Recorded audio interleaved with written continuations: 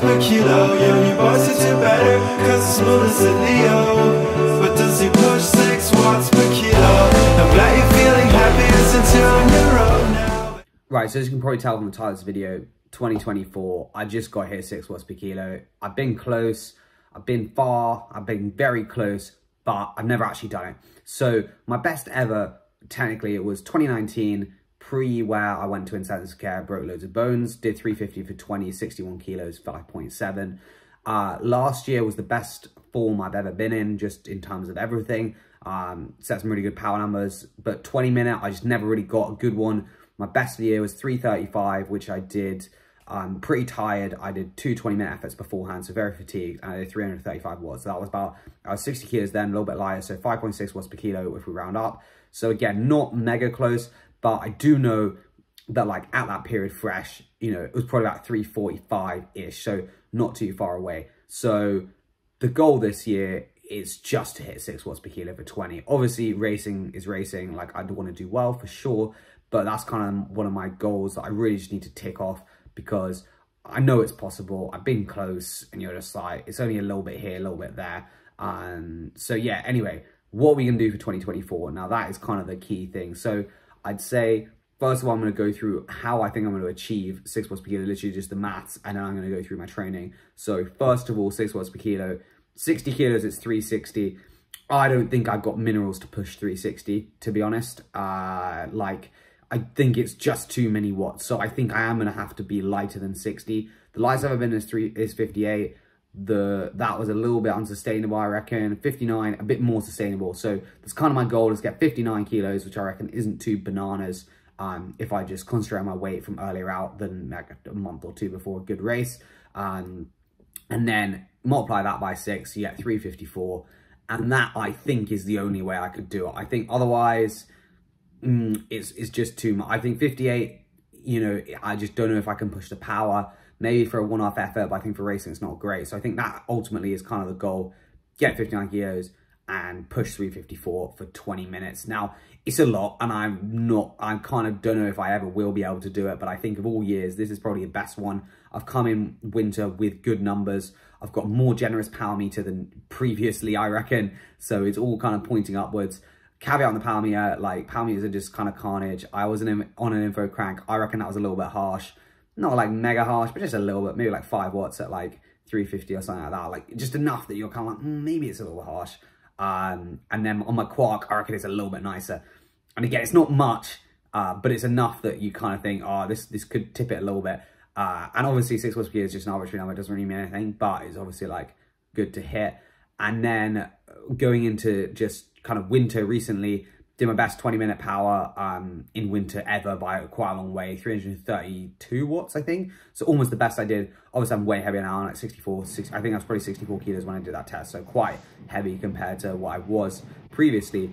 But nonetheless, that is the way, uh, that's kind of where we are at now. So you're going to say, what are you going to do this year that you didn't do last year uh, to get six watts per kilo? Now, I think, first of all, don't need a radical change. I got significantly stronger last year for sure. Endurance wise, I was doing some real good numbers.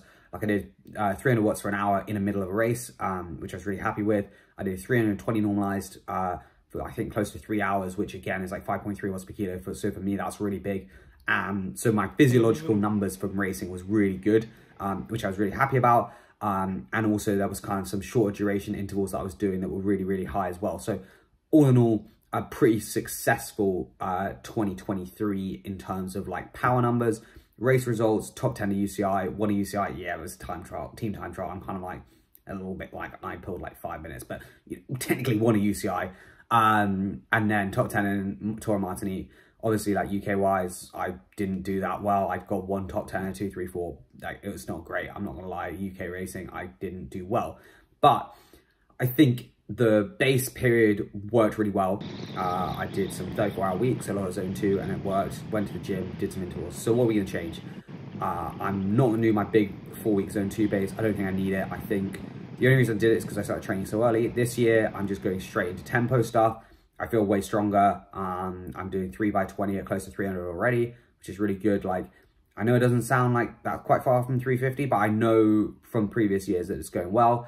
Going to continue with the gym. I think it did work last year. I think the gym block plus interval block I did just before Albania was really, really successful. So I just need to make sure I actually am consistent the whole year um, and don't do the classic keen over winter and then it gets to racing and bin it off. So that's one thing I think I'm really going to focus on. Volume wise, keep it consistent. 25, 30 hour weeks should be no stress, I reckon. Um, the body's very comfortable about it.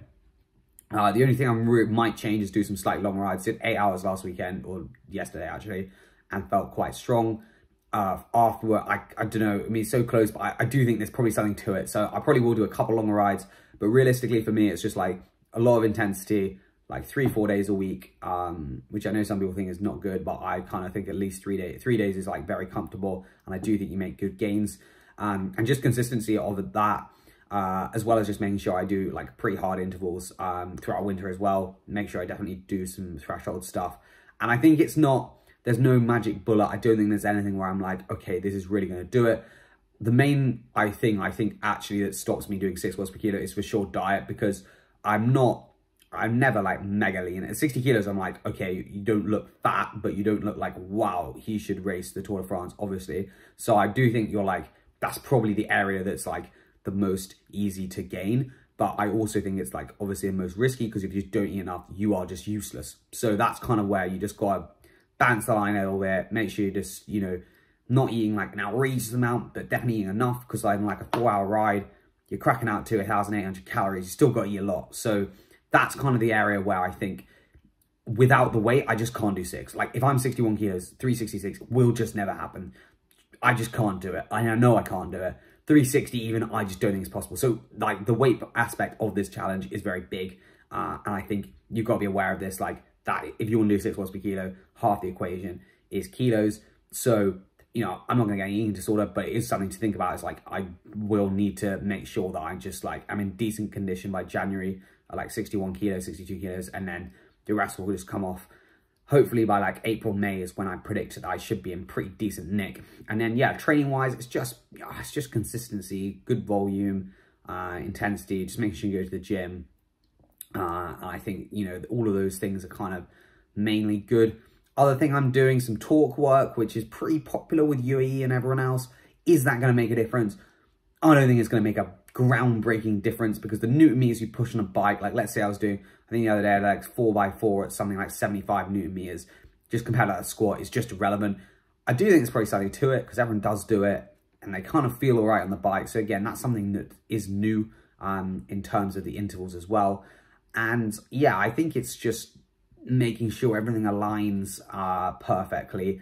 And I think maybe the other thing is just the taper, like I'm probably going to do this effort like realistically before a big race, maybe Tour of Albania. I'm not sure exactly what my calendar is for, for next year, but let's say like before Tour of Albania, it's just like actually doing a bit more of a taper than I think I previously had done where maybe I just had a week, maybe like a week and a half, really back off and then kind of add a bit more volume. Because I often think when I do my best numbers, I'm actually like, hmm, I wouldn't say tired, but I'd say verging on quite tired. Like my best numbers are normally um, when I am tired. I don't really understand it. No one understands it, but it's just the way it is. So yeah, those are kind of the main things of doing project six watts per kilo. Um, but yeah, I think, is it going to be impossible? Maybe. Uh, you know, I've been, I kind of say I've been close. I've not been that close. Um, will I round up? Yes. If I get to like 5.9 something, I mean, I just definitely am going to be rounding up because it, it will be close. Uh, will it change my like ability? Probably, I reckon a decent amount. I think if you look at me as a rider, the thing I'm best at is fatigue resistance. Like my fresh to tired 20 minute doesn't get worse that much. Um, either day to day in a stage race or just during out in like a race. So that's kind of why I think if I can really crack the, the fresh numbers big um, and try and bump it up again, like if I can crack it 15 watts this year, which sounds bananas, but I think it's possible, or like 15 watts from, from winter, I think it is possible. Um, and I think my last comment in this video is getting quite long is really about like why I think it's possible this year. So last year I did a 20 minute test, literally like the same two weeks off, three weeks training, and I did 313 watts. And then obviously my best was 335. We probably could add five watts because I think I could have done 340 if there was some stuff, go, like if I was just fresh that day, let's say. So let's say 340, so we get 25 watts. Well, I've already done 330. And so you're then like, okay, 350 probably is on the cards because I do think I was going better just because like I had done a bit more intensity, a couple things. But basically, I do think that I'm actually a lot better condition this winter compared to last winter. And so I'm just convinced that if I just do all the training I did last year, um, plus a bit more tempo because I kind of missed that block last time, uh, that I will be really, really strong by like April, May. And then hopefully the weight is 58, 59 kilos. And then six watts per kilo for 20 minutes. Boom. And then I can retire a happy man, never ride a bike again. Job's good. Anyway, cheers for watching. Hope you enjoyed this video and see you in the next one.